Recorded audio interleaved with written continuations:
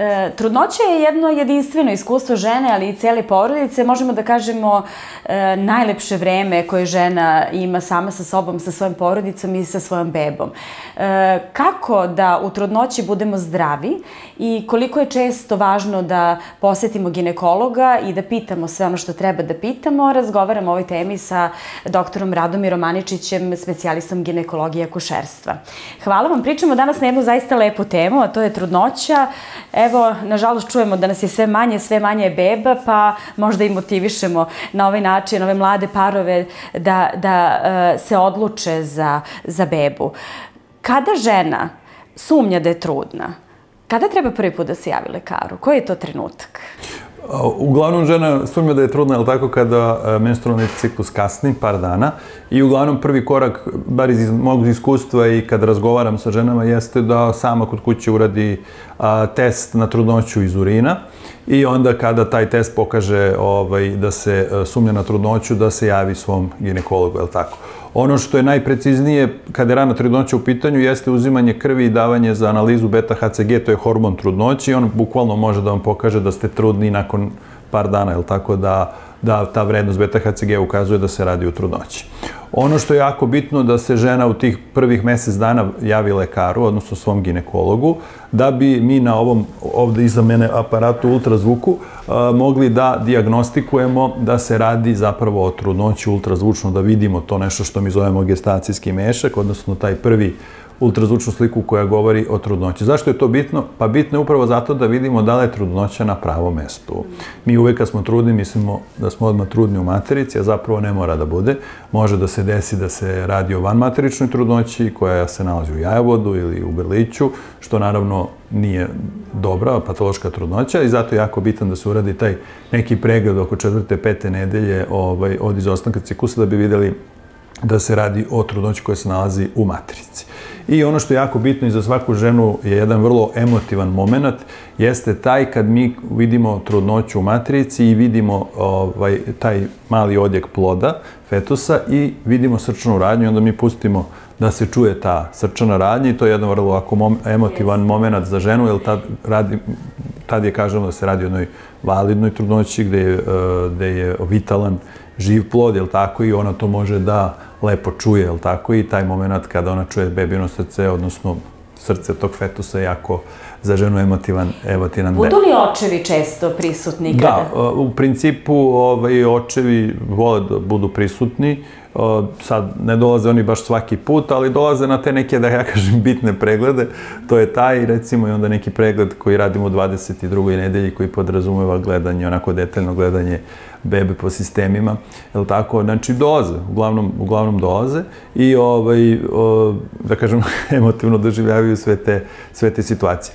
Ono što je jako bitno, da o, u 21. veku podrazumevamo da, da, će, da, se, da je trudnoća kontrolisana, znači o, i 99% slučajeva se radi o kontrolisanim trudnoćama, to je jako bitno, zato što postoje neke procedure, odnosno neke stvari koje žena mora da, da odradi od prvog, drugog, trećeg trimestra i naravno do porođaja, da bi uh, mi ovaj, mogli da tu trudnoću smatramo fiziološkom, je li tako? A koji su to najbitniji, najbitniji pregledi? Pa da vam kažem, ono kad ustanovimo da se radi u prvom trimestru o tru, vitalnoj trudnoći, žena mora da apsolutno radi kompletnu krvosliku, biohemiju, mora da uradi hormone štitne žlezde, jer su nam jako bitni da, oni da štitna žlezda funkcionište u prvom trimestru ženi, odnosno u svim trimestrima, ali za bebu jako bitno u prvom trimestru, zbog nje razvoja centralnog nervnog sistema, to je jako bitno. Ono prvo najvažnije što se radi, uh, to je screening, rani screening prvog trimestra na hromozomske uh, anomalije, to je onaj čuveni double test. Uh, double test podrazumeva ultrazvučni pregled žene i vađenje krvi za davanje dva hormona na analizu i zajedno ultrazvučni pregled i ti hormoni se statistički obrađuju u nekom softverskom programu i daju jednu statističku pretpostavku da se radi uh, da li se radi o visoko, srednje ili, ili niskorizičnoj trudnoći za pojavu a, hromozomskih anomalija. To je Downov sindrom. Da, ja sad moram da pitam, samo na trenutak da prekinem, s obzirom da znam iz iskustva i svojih prijateljica da je taj double test nekako taj prvi test koji nas čini nervoznima, da li će se biti u redu. I dešavalo se da, da taj test ne bude u redu. Pa da kažemo ženama, ukoliko nije u redu, koliko je to opasno, koliko treba da se plašimo, sad čujemo da pored toga imamo yes. i ultrazvuk koji može nešto da nam pokaže. Ultrazvuk je jako bitan u okviru double testa. Zašto? Zato što ultrazvučno gledamo postojanje uh, nosne kosti, debljine vratne brazde. To su sve neki ultrazvučni parametri na osnovu koji ako nisu, da kažem, fiziološki, Onda potvrđuju nam, double test. Da vam kažem, oni nam samo ovaj, sumnju potvrđuju, ali šta radimo dalje? Ako double test nije dobar, pošto je sad malo, da kažem, medicina uznapredovala, imamo i nešto što se zovu neinvazivni prenatalni testovi. To je isto jako uh, dobra stvar, zato što je uh, realno kod nas je došla, mislim, u Srbiju pre jedno 9 do 10 godina. Šta se to radi? To se iz majčine krvi, bukvalno uzme se, znači neinvazivan je test, uzme se krv od mame i tu se vrši analiza uh, bebinih DNK, zato što plutaju u majčinoj krvi neki mali partikuli, delovi bebinog DNK i onda se to sve lepo ovaj, sastavi i bukvalno imate kompletan bebin kariotip i možete sa velikom sigurnošću od preko 90 i nešto posto da tvrdite da li, da li je beba genetski zdrava ili, ne da Bože, ima neku anomaliju. A kada to može da se uradi iz krvi? Neinvazivni prenatalni testovi već od desete nedelje mogu da se rade i kada je adekvatna frakcija te bebine uh, ovaj, plutajuće DNK u majčinoj krvi. Zašto je to dobro? To je dobro zato što je to je neinvazivan test. Znači, ne postoji nikakav rizik po plod uh, da će nešto, mislim, se desiti da. uzimanje majčine krvi. Zašto? Pa zato što postoje invazivni testovi. Šta je problem? Problem je kad mi dokažemo, kad mi na ovom double testu vidimo da se radi o možda nekoj sumnji na ovaj, neku genetsku bolest ili ako je prenatalni test nam posumnja da se radi o nekoj genetskoj oboljenju tipa Downovom sindroma ili nekog drugog, onda to mi moramo da dokažemo invazivnom metodom. Šta je invazivna metoda? Čuli ste, naj, najpoznatija je amniocinteza, uzimanje plodove vode.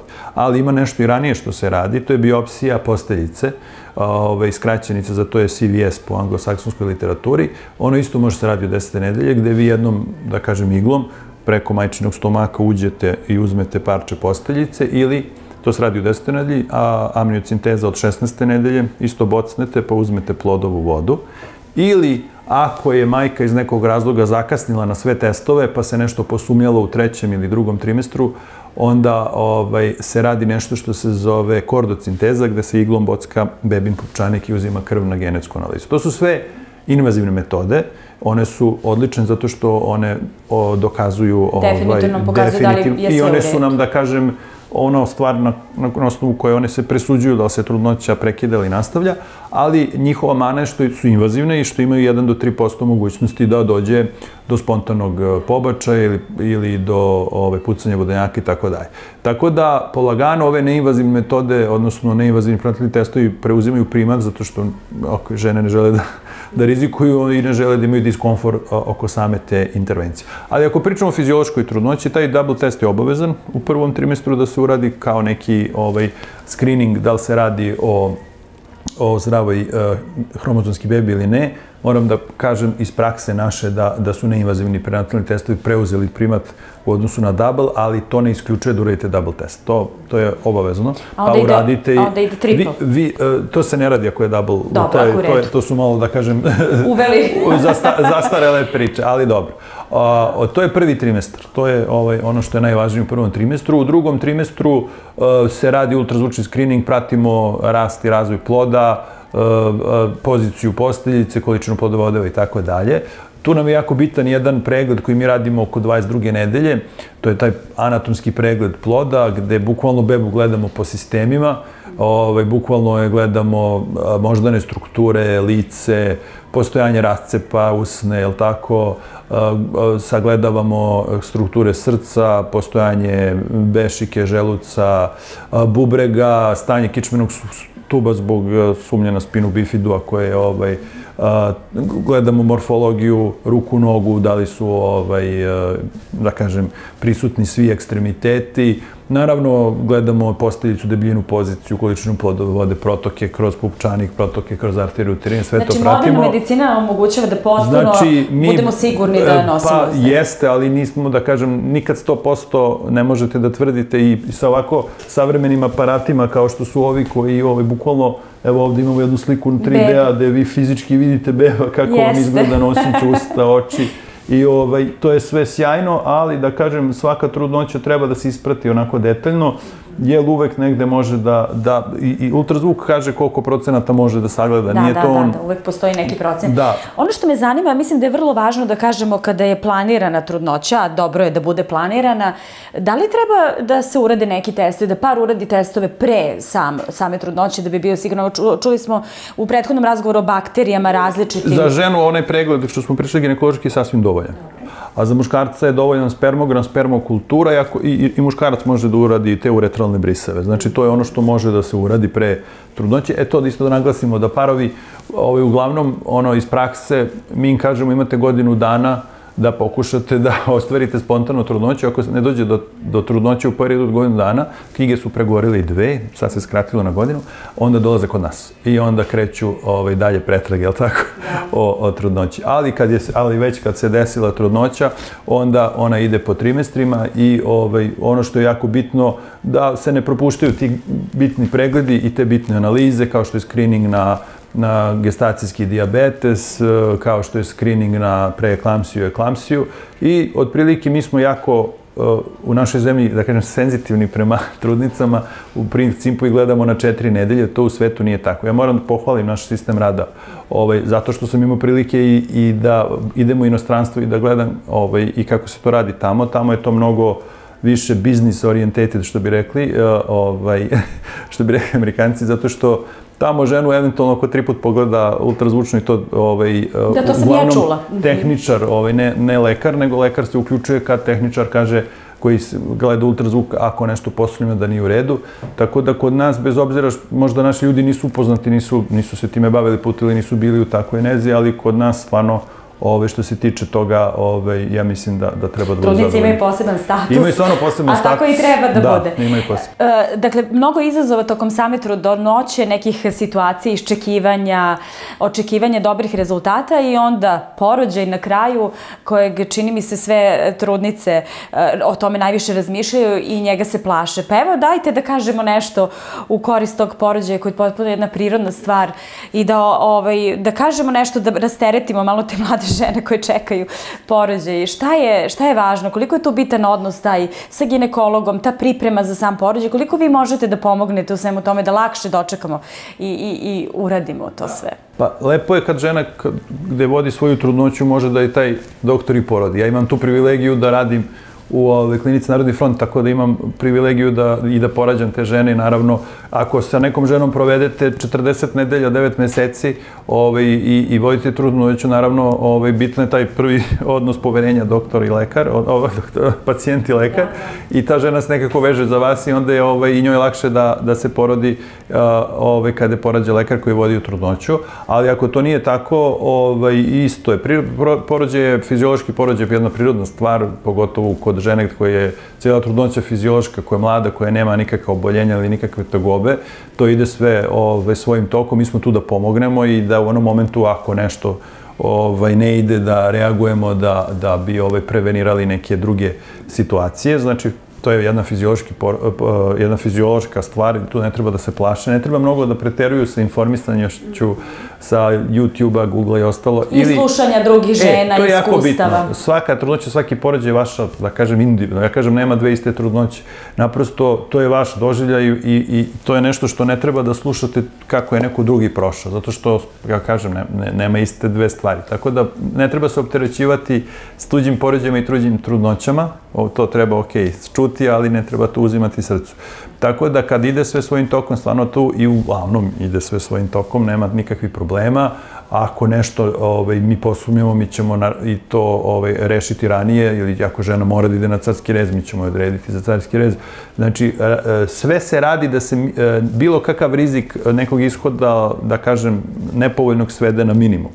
Tako da i u, u toku samog porođaja, svaki vaginalni porođaj u svakom momentu može preći u carski rez ako se dešavaju situacije koje to zahtevaju, tako da žena ne, ne treba da se bavi tim pitanjima, naprosto tu smo mi koji se bavimo time da reagujemo na vreme, da da sve prođe kako treba i u 21. veku to ističem da ovaj, se očekuje da svaki porođaj apsolutno prođe kako treba. Nažalost, i u takvoj situaciji statistika je najminovna, dešavaće se, dešavaju se neke nepredviđene situacije koje naprosto ovaj, nemaju veze ni sa tom vašom pažnjom koje vi obraćate, ali to je stvarno minimalno. Da. Tako da uh, u 99% slučajeva ti porođaji proti, protiču sasvim onako školski i dobro. Da. Opet se vraćamo na to koliko je važan zdrav život, redovne posete lekaru. Drago mi je da smo čuli ovde informaciju koliko su naše trudnice uh, privilegovane, da kažemo, i čitave porodice na taj način. I drago mi je da čujem da se muškarci sve više uključuju u ceo taj proces, što ranije nije bio slučaj. I evo za kraj samo da pitam, da li se današnje trudnice razlikuju u odnosu na trudnice nekada? Je li ima tu neke razlike? Da li su razmaženije, traže li E, više pažnje? Pa traže. Traže. Traže, jer naprosto kad razgovaramo s nekim kolegama starijim koji su sad možda pred, u penziji ili pred penziju, ovaj, drugačije je sve to bilo. Da li je ta dostupnost informacija, drugačiji način života, da kažem komfor i sve dovelo do toga da, da je neka tolerancija i na bol i na diskomfort svedrena na minimum. Tako u tom smislu da ovaj, jeste, nije ista situacija sad i pre 50 godina, recimo to se apsolutno razlikuje. I, I možda i tako i treba. Ipak je ovo, da kažem, ovaj, 21. vek i mi u, u ovom veku i ne očekujemo da nas nešto i boli i da, i da sad idemo nekim metodama koje nama čine diskofor i tako dalje. Tehnologija napreduje, medicina napreduje. A i što ne bismo da, koristili to što nam medicina jest, daje. Tako da, da ja mislim da je to normalno. Mislim da život ide, što se kaže, ne možemo se vraćati u prošlost. Hvala najlepše na ovom lepom razgovoru i na svem onome što smo čuli. Nadam se da će bili, biti prilike da pričamo. Ima mnogo tema kada govorimo o zdravlju žena. Sa nama je bio dr. Radomir Aničić, specijalista ginekologije i akušerstva. Ostanite uz televiziju RAS.